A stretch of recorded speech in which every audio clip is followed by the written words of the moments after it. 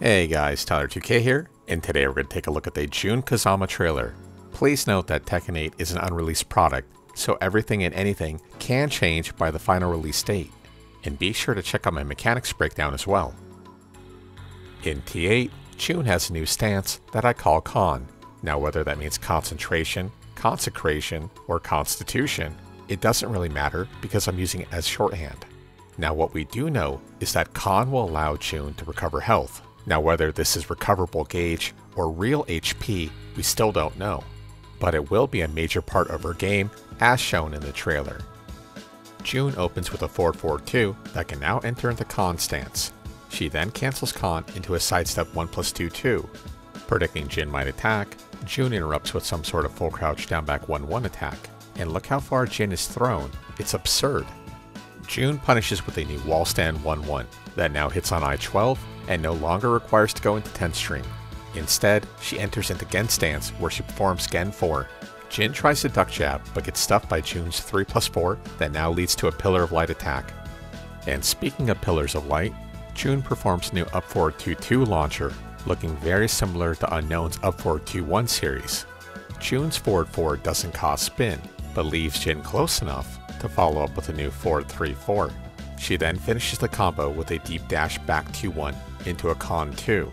But let's go ahead and break down this breakdown because there is a lot to see right here. First and foremost, we see the purple energy. This signifies that this move is a heat engager, which means the attack can be cancelled on hit to go into immediate forced 50-50. You might also notice that Jun leans very far forward and makes a dramatic stance, because Con 2 looks almost identical to Claudio back forward 2, which is very suiting seeing as how Claudio Rage Drive was probably the test bench for quite a few of these mechanics. Like her duck jab, Jun has some sort of one jab into immediate follow-up. She then performs a new up forward 4-3 that leads to a beam of light attack, splatting Jin into the wall. This enters Con stance, where Jun cancels Con with a Con 1, looking very similar to Izu 2. On counter hit, Jun's up forward 2 is a single hit spin launcher, she then dashes up and spikes Kazuya into the ground with her Heat Burst, following up with a new down forward 1-2 series, ending with a down forward 2 that can lead to Gen, where she performs new Gen 1 plus 2 that's a power crushing attack throw.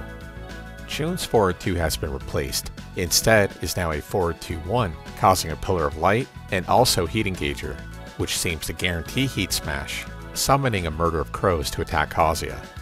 Kazuya's 1 plus 2 is punished by Jun's 1 plus 2, which is now a heat engager. Jun then follows up with a new homing mid, presumably down 4-3. Kazuya tries to rebut, but Jun performs special heat parry, looking very similar to Unknown's. This automatically enters Con stance, where she enters into Gen, where she performs an EX Gen 1, leading to attack throw. Now there's two things to recognize here. Firstly, we see the Ravens again, as Jun channels her evil side.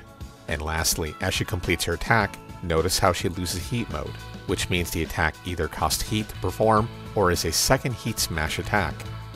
Jun sidestep 4 on counter hit turns into a full launcher when heat dashed, where she follows up with a forward 3 forward 1 plus 2 into a new Izu 1 1 causing spin, finishing into a forward forward 1 plus 2 causing slide away ender.